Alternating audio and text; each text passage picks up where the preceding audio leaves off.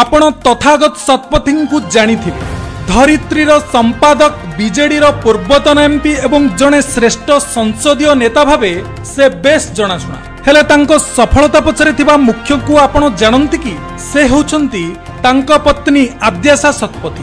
ଆସନ୍ତୁ ତାଙ୍କ ବିଷୟରେ କିଛି ତଥ୍ୟ ଜାଣିବା। ଉଭୟ ଧରିତ୍ରୀ ଓ ଓଡ଼ିଶା ପୋଷ୍ଟର ସିଓ ଥିବା ଆଦ୍ୟାଶା ଶତପଥୀ ବଲିଉଡ ଜଗତରେ କାମ କରିଛନ୍ତି। ମାୟାନଗରରେ ନିଜ ଅଭିନୟର ଯାଦୁ ଦେଖାଇଥିବା ଆଦ୍ୟାଶଙ୍କ ପ୍ରଥମ ଓ ଶେଷ ଅଭିନୀତ ସିନେମା ହେଉଛି ଓପ୍ସ। ଦୁଇ ହଜାର ତିନିରେ ଏହି ଫିଲ୍ମ ରିଲିଜ ହୋଇଥିଲା।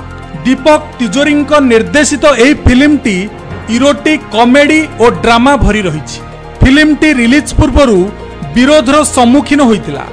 ଡେବ୍ୟୁ ନିର୍ଦ୍ଦେଶକ ଭାବେ ପାଦ ଥାପିଥିବା ଦୀପକ ତିଜୋରୀଙ୍କ ଏହି ଚଳଚ୍ଚିତ୍ର ବଜେଟ୍ ଥିଲା ପଚିଶ ମିଲିୟନ।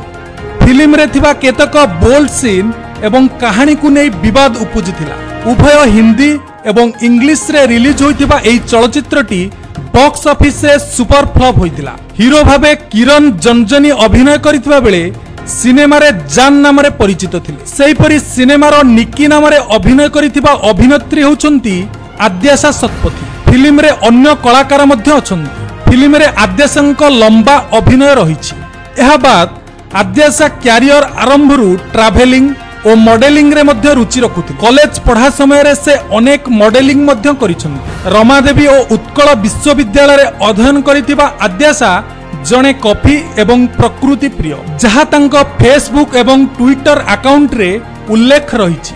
ଧରିତ୍ରୀ ସମ୍ପାଦକ ତଥା ପୂର୍ବତନ ବିଜେଡି ଏମ୍ପି ତଥାଗତ ଶତପଥୀଙ୍କୁ ବିବାହ ପରେ ଧରିତ୍ରୀ ଖବରକାଗଜରେ ସେ ସିଓ ଭାବେ ଦାୟିତ୍ୱ ତୁଲାଇ ଆସୁଛନ୍ତି। ଉଭୟ ରାଜ୍ୟ ସରକାର ଏବଂ କେନ୍ଦ୍ର ସରକାରଙ୍କ ନୀତିକୁ କଡ଼ା ସମାଲୋଚନା କରିବାରେ ସାହସ ରଖୁଥିବା ଏହି ଖବରକାଗଜରେ ଆଦ୍ୟାଶା ସ୍ୱାମୀ ତଥାଗତ ଶତପଥୀଙ୍କୁ ମଧ୍ୟ ସମ୍ପାଦକୀୟ ଲେଖିବାରେ ସାହାଯ୍ୟ କରନ୍ତି। ଖାଲି ସେତିକି ନୁହେଁ ପରିବେଶ ସୁରକ୍ଷା ପାଇଁ ଧରିତ୍ରୀ ପକ୍ଷରୁ ଅନେକ ସଚେତନତା କାର୍ଯ୍ୟ କରାଯାଉଥିବା ବେଳେ ଏହାକୁ ଗତିଶୀଳ କରିବାରେ ଆଦ୍ୟାଶାଙ୍କର ଉଦ୍ୟମ ପ୍ରଶଂସନୀୟ। ଧରିତ୍ରୀ ଭଳି ପ୍ରମୁଖ ଗଣମାଧ୍ୟମର ମୁଖ୍ୟ ଭାବେ ଦାୟିତ୍ୱ ସମ୍ଭାଳି ଆସୁଥିବା ଆଦ୍ୟାଶାଙ୍କ ମାଲିକାନାରେ ଇଂରାଜୀ ଖବରକାଗଜ ଓଡ଼ିଶା ପୋଷ୍ଟ ମଧ୍ୟ ରହିଛି। ସନ୍ତାନ ସନ୍ତତି କହିଲେ ତାଙ୍କର ଗୋଟିଏ ଛୋଟ ଝିଅ ଓ ଜଣେ ପୁଅ ଅଛନ୍ତି। ତାଙ୍କର ଆଉ ଏକ ପରିଚୟ ହେଲା ସେ ପୂର୍ବତନ ମୁଖ୍ୟମନ୍ତ୍ରୀ ନନ୍ଦିନ ଶତପଥୀଙ୍କ ବୋହୂ। ତେବେ ଦୁଇ ଦୁଇଟି ପ୍ରମୁଖ ଗଣମାଧ୍ୟମର ମୁଖ୍ୟ ପଦବୀରେ ଦକ୍ଷତାର ଦାୟିତ୍ୱ ତୁଲାଇ ଆସୁଥିବା ଆଦ୍ୟାଶା ଜଣେ ସଫଳ ଉଦ୍ୟୋଗୀ ଭାବେ ବେଶ୍ ପରିଚିତ। ଓଡ଼ିଶା ଭାଇବ୍କୁ ଏହି ଷ୍ଟୋରିଟି ଆପଣମାନଙ୍କୁ କେମିତି ଲାଗିଲା?